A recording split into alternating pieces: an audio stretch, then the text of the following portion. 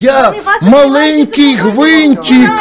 Я маленький гвинтик. В России исполнилась мечта Ильи Киевы, который многократно и публично призывал без суда и следствия уничтожать предателей Украины. Я бы приехал и расстреливал бы таких, у нас будет появляться, я чувствую, с каждым днем все больше и больше расстрелянных возле своего дома. Потому что у людей не хватает терпения больше. Но, как говорится, есть нюанс. Предателем Украины, расстрелянным у своего дома, на этот раз оказался сам Илья Киева. Сегодня в Подмосковье был убит один из главных критиков режима Зеленского, бывший депутат Верховной Рады Илья Киева. Фигура весьма спорная. Бывший радикал запрещенного правого сектора, отметившийся в Донбассе, сбежал в Россию с началом СВО. Однако, отказавшись от своей родины, он не стал своим и здесь. Как известно, Кива прославился тем, что сначала играл роль отмороженного радикала из правого сектора, и его в качестве пугала показывали российские СМИ. Но потом Кива просто вот так вот в один момент по щелчку изменил свою риторику на 180 градусов и пошел в партию ОПЗЖ к Медведчуку. Когда это произошло, мне показалось, что уж такого откровенного издевательства избиратели ОПЗЖ точно не потерпят. Включение в партийный список человека, который публично призывал расстреливать автобусы с переселенцами из Донецка, это как-то слишком даже для них. Но нет, как оказалось, для пророссийских избирателей вообще нет ничего невозможного, и они натурально проголосовали за партию, в списке которой был радикал из правого сектора. В 2022 году Кива совсем уже перестал стесняться, поддержал нападение на собственную страну и стал призывать к ракетным ударам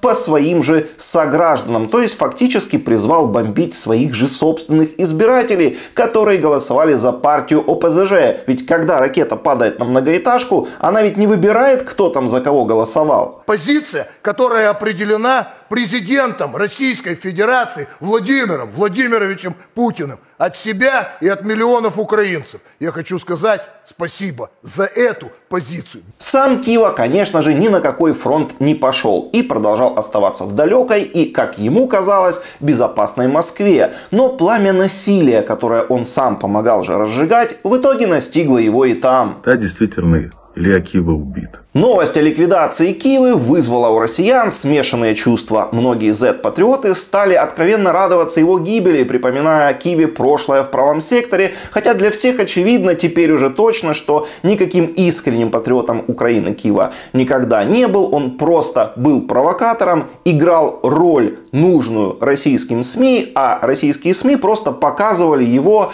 для картинки, чтобы показать, вот посмотрите, какие, значит, у украинцев есть упоротые неуравновешенные уравновешенные радикалы. А потом в какой-то момент Кива просто перестал играть эту роль и пошел уже открыто работать на пророссийскую партию. Но вот коллеги Кивы, такие же коллаборанты и перебежчики из Украины, сильно разволновались после его ликвидации, так как каждый из них понимает, что может стать следующим. К примеру, Олег Царев разволновался настолько, что срочно вышел из запоя в эфир и попросил российских патриотов не глумиться над смертью Киевы, потому что выстрел в Киеву – это выстрел в Россию. Я смотрю, сейчас многие выставляют посты, вспоминают русофобские заявления Киева.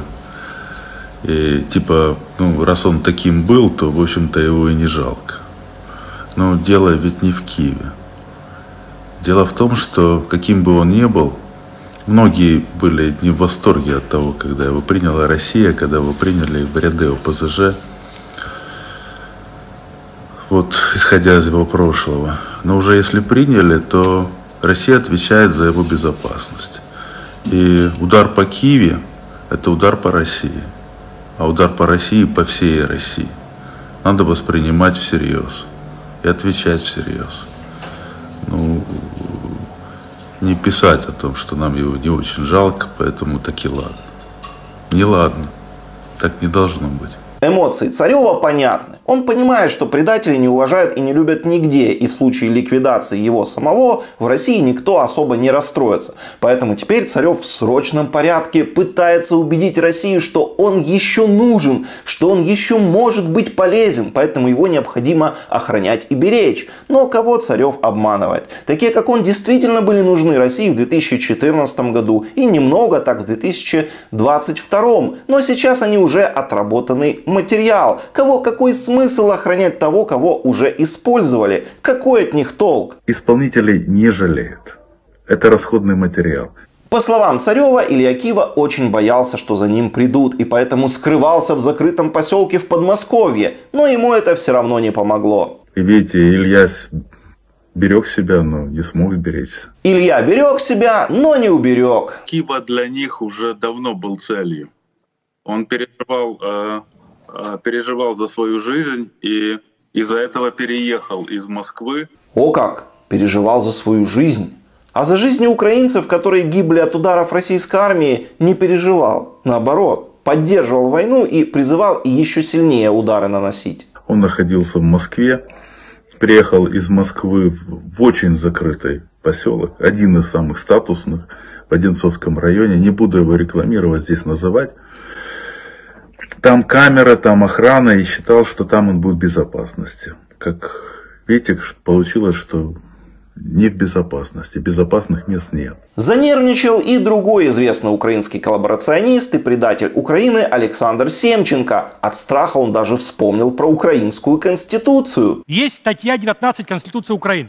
Там же чітко написано, що органи державної влади та їхні посадові особи діють виключно в спосіб та, е, спосіб та в межах передбачених законами Конституции. В Конституции написано, убивать нельзя. Люди, которые поддерживают агрессивную войну против своей страны, оккупацию части территории Украины и массовое убийство своих же сограждан, внезапно вспомнили про Конституцию и вспомнили, что убивать нельзя, как только до них дошло, что убить могут их самих. Специальные группы диверсантов, заброшенные сюда на территорию России, все-таки э, на вас покушались в Крыму, э, на Киеву покушались в Подмосковье, Ближнем, то есть работают они глубоко в тылу. Что-то как-то, по-моему, им уже не весело, да? Что-то какая-то тревога на лице у Скобеева. Думали, что можно будет всю Украину за три дня захватить и потом как угодно издеваться над украинцами, да? Творить что угодно безнаказанно. Думали, что украинцы не дадут сдачи, разбегутся, не смогут постоять за себя. А оно вон как вышло. Оказывается, может и ответка прилететь. Ого, да, никто о таком что-то не предупреждал в самом начале. Теперь СВО уже чего-то им не нравится. А мораль в этой истории очень проста. Не нужно поддерживать агрессивную войну, не нужно вторгаться в соседнюю страну, и тебе ничего не будет. Будет все хорошо, будешь жить нормальной, мирной, спокойной жизнью. Посмотрите, сколько уже людей в самой России, самих россиян, российских вот этих всех патриотов уже погибло, да, которые могли бы быть живы, если бы просто нас не тронули, к нам не вторглись и не нападали на Украину, если бы просто жили своей мирной жизнью у себя в стране. И кейс Ильи Киевы тут еще более показателен, потому что человек, в общем-то, мог оставаться на патриотических украинских позициях и был бы сейчас в Украине, ну если бы не героем, то по крайней мере был бы жив и был бы обеспечен, потому что он был живым обеспеченным человеком, у него все было здесь хорошо, но потом Илья Кива решил предать свою страну, поддержать войну против своей страны, и в результате получилось то, что получилось. А с Ильей Кивой случилось ровно то, к чему он призывал сам. Ничего другого, как и заказывал. Я бы приехал и расстреливал бы таких, с ними будут крайние меры по законам военного времени.